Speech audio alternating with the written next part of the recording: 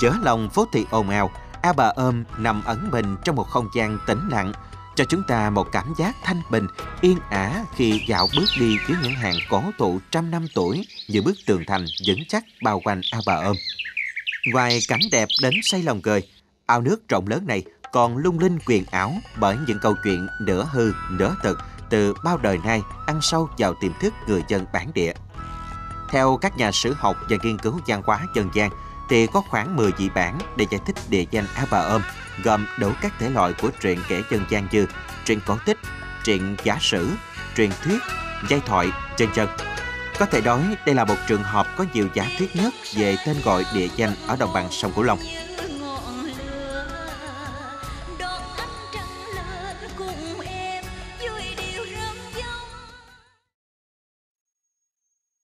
Quý khán giả thân mến, qua tìm hiểu thì Tú Trân được biết ao bà ôm, di tích này bước ra từ truyền thuyết của người Khmer gắn liền với nhiều giai thoại trong đời sống sinh hoạt lẫn tín ngưỡng văn hóa tinh thần của đồng bào dân tộc Khmer. Tên gọi ao bà ôm thì vốn có nhiều dị bản, song các câu chuyện kể đều là sản phẩm của trí tưởng tượng tinh thần vô cùng phong phú của đồng bào dân tộc Khmer ở Nam Bộ đó Trung Nguyễn. À, nãy giờ qua lời Tú Trân nói thì Trung Nguyễn và cũng như quý vị và các bạn cảm thấy là đằng sau cái tên gọi của ôm là một cái câu chuyện rất là ly kỳ và hấp dẫn. Thì hôm nay chúng ta cùng nhau tìm đến nghệ sĩ ưu tú Sang Sết là một người chuyên nghiên cứu về văn hóa của đồng bào dân tộc Khmer. Sẽ lý giải cho chúng ta biết được là cái danh lam thắng cảnh độc đáo này á là tại sao có cái tên gọi là ao bờ ôm vậy thì mình cùng đến gặp chú Sang Sết. Rồi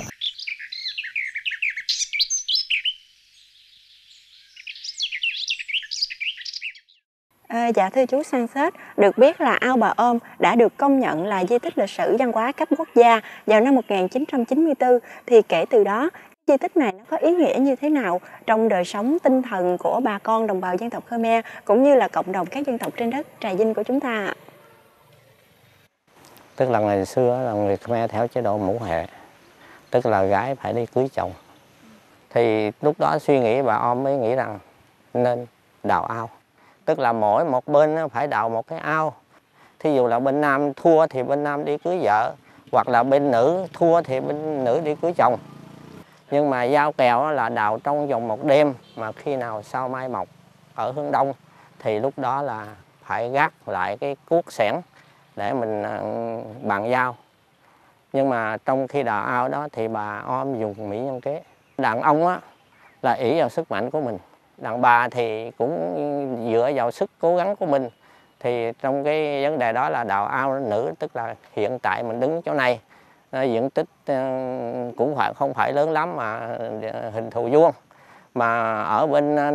nam thì cũng có một cái diện tích gấp 10 lần. Thì bà om đi xung quanh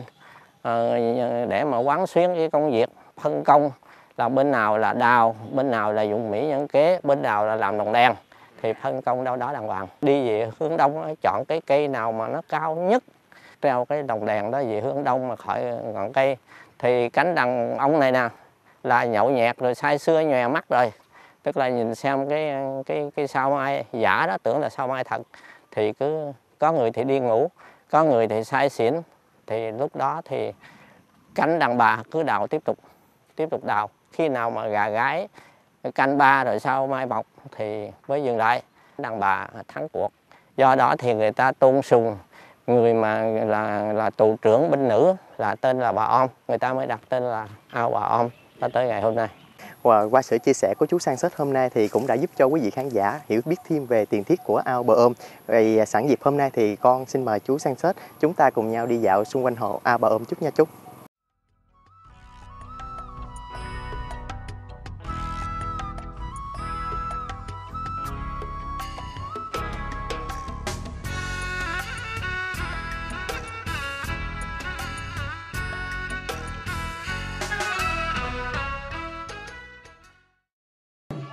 Dù xuất phát từ truyền thuyết hay cách lý giải nào đi nữa, thì ao bà ôm cũng là một hồ thủy lợi to lớn, cổ xưa, được hình thành từ bàn tay khối óc của người lao động và góp phần quan trọng đảm bảo nguồn nước ngọt cho sinh hoạt, sản xuất của cộng đồng các dân tộc trên vùng đất này qua nhiều thế kỷ. Với bề dày về những giá trị văn hóa và tinh thần, A Bà Ôm được Bộ Văn hóa Thông tin, nay là Bộ Văn hóa Thể thao và Du lịch, xếp hạng di tích lịch sử văn hóa cấp quốc gia loại hình di tích danh thắng vào năm 1994. Vào những ngày lễ Tết hàng năm của người Khmer, a Bà Ôm trở thành nơi sinh hoạt cộng đồng náo nhiệt của cả vùng, nhất là vào lễ hội Okonbok, một di sản văn hóa phi vật thể cấp quốc gia, được tổ chức vào rằm tháng 10 âm lịch, thu hút hàng ngàn người dân khắp nơi về đây tham dự. Họ cùng nhau chảy búa, thắt chặt thêm tình đoàn kết, hòa hợp của các dân tộc anh em ở vùng sông nước Cửu Long. Và khi màn đêm buông xuống, khu vực Ao Bà Ôm lung linh, huyền ảo, náo nhiệt với hội thả đèn gió, mang theo ước vọng của họ nguyện cầu cho trời đất giao hòa, mùa màng tốt tươi, con người và dạng vật bình yên.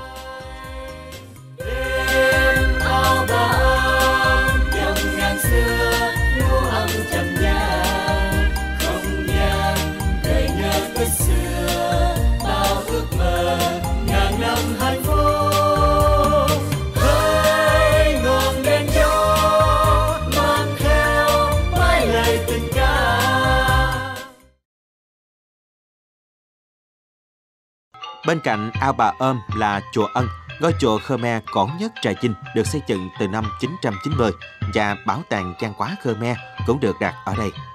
Quần thể bộ ba Ao Bà Ôm, chùa Ân và bảo tàng văn hóa Khmer được xác định là địa điểm du lịch hàng đầu trong chiến lược phát triển du lịch văn hóa của tỉnh.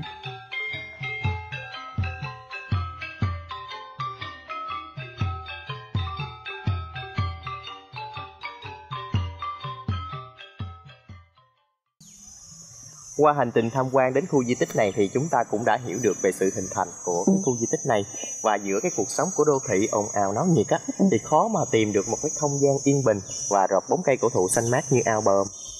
có lẽ Ao Bà Ôm sẽ là một trong những điểm dừng chân rất lý tưởng khi du khách đến tham quan và trải nghiệm tại tỉnh Trà Vinh. Đặc biệt Ao Bà Ôm cũng sẽ là một địa điểm rất lý tưởng để tỉnh Trà Vinh quảng bá và giới thiệu các nét đẹp văn hóa truyền thống của vùng đất Nam Bộ này đến với du khách trong và ngoài nước.